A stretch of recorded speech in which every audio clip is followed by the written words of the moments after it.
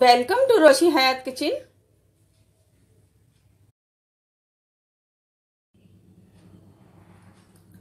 बिस्मिल्लाहिर्रहमानिर्रहीम। अस्सलाम वालेकुम फ्रेंड्स।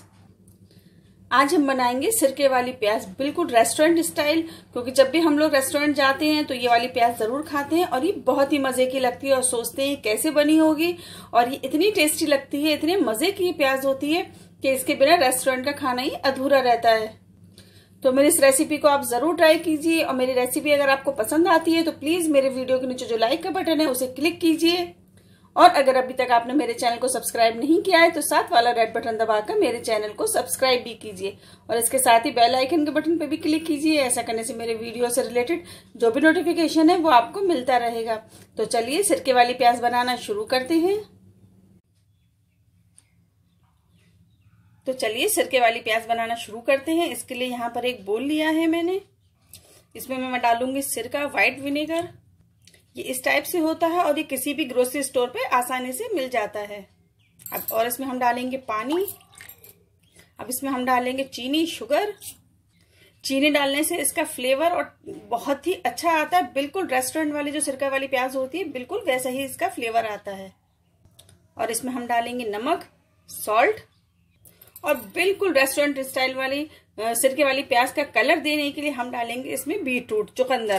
क्योंकि इसमें हम कोई भी आर्टिफिशियल कलर का यूज़ नहीं कर रहे हैं तो इसे हम नेचुरल बना रहे हैं, इसलिए हम इसे बीटरूट का यूज़ करेंगे। इसी से कलर इसका बहुत अच्छा आएगा।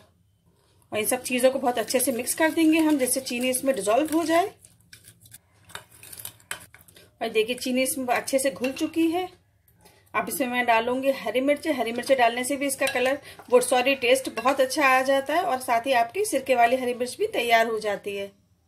और अब इसमें हम डालेंगे प्याज, अनियंस, इसको बेबी अनियंस भी कहते हैं।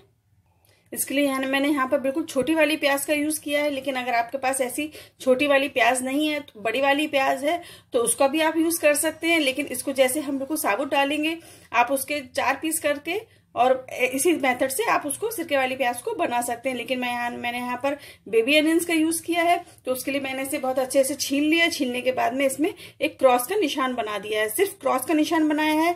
ये कुछ अलग नहीं हुआ है कुछ भी। सिर्फ़ क्रॉस का निशान इसलिए बना दिया जिससे सिरके का फ्लेवर इसमें अंदर तक चला जाए। और अभी सभी प्याज को हम इसमें डाल देंगे। सबको मिक्स कर लेंगे अच्छे से। और ये देखिए सिरका प्याज में बहुत अच्छे से मिक्स हो चुका है। अब आप कोई भी एक एयर टाइट कंटेनर लीजिए, उसमें सब सारी प्याज को इसमें ट्रांसफ़र कर दीजिए। और ये देखिए, सारी प्याज को और हरी मिर्च को हमने इस जार में डाल दिया है और जो पानी बचा था, वो भी हमने सारा इसमें डाल दिया है। सिरके वाली प्याज आपकी बिल्कुल रेडी है, लेकिन अभी ये खाने लायक नहीं है।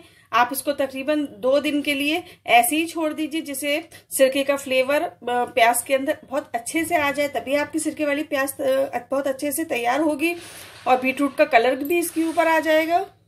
और इस प्याज की सबसे अच्छी बात यह है, जब आपका ये प्याज और ये हरी मिर्च इसके अंदर से खत्म हो जाए, खाली इसका पानी बचे तो तब भी आप इसका रीयूज कर सकते हैं। दोबारा से इसके अंदर ये प्याज और हरी मिर्च इसमें डाल दीजिए पानी के अंदर और ये प्याज आपकी दोबारा से अच्छे से तैयार हो जाएगी।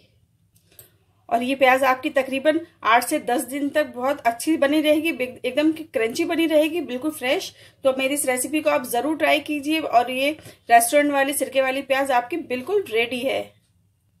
अब आपको बाहर से, बाहर जाके रेस्टोरेंट में इसे खाने की कोई इतनी ज़रूरत नहीं पड़ेगी क्योंकि आप खुद घर में इतनी अच्छी टेस्टी बिल्कुल रेस्टोरेंट स्टाइल सिरके वाली प्याज बना सकती हैं। तो मैं इस रेसिपी को आप ज़रूर ज़रूर ट्राई कीजिए और मेरी रेसिपी अगर आपको पसंद आती है तो प्लीज़ मेरे वीडियो के नीचे जो लाइक का बटन है उसे क्लिक कीजिए और मेरे चैनल को सब्सक्राइब भी कीजिए। अपना एक्सपीरियंस कमेंट बॉक्स में ज़रूर शेयर करें दो में याद रखें। Thank you for watching my video अल्लाह हाफिज़।